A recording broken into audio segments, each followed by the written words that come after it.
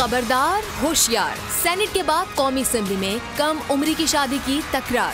اگر آپ کی عمر اٹھارہ سال سے کم ہے تو شادی کے بندھن سے دور رہیے۔ لینے کے دینے پڑ جائیں گے۔ تین سال کی قید اور دو لاکھ روپے جرمانہ ہو سکتا ہے۔ یہ تھی سینٹ میں بل کی منظوری کی کہانی۔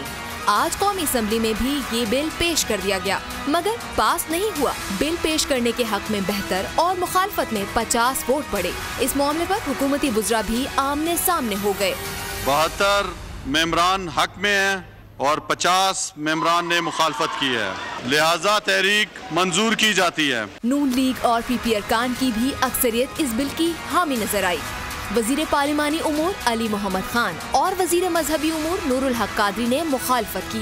یہ معزز ممبر کا جو بل ہے اور جس شیپ میں ہے اس کو ہم اپوز کرتے ہیں۔ نور الحق قادری نے کہا بل کو مزید غور کے لیے اسلامی نظریاتی کونسل میں بھیجا جائے۔ علی محمد خان نے کہا ہم اسلام کے خلاف کوئی قانون منظور نہیں ہونے دیں گے۔ اسلام کے اصولوں کے منافی کوئی لا یہ ایوان پاس نہیں کر سکتی۔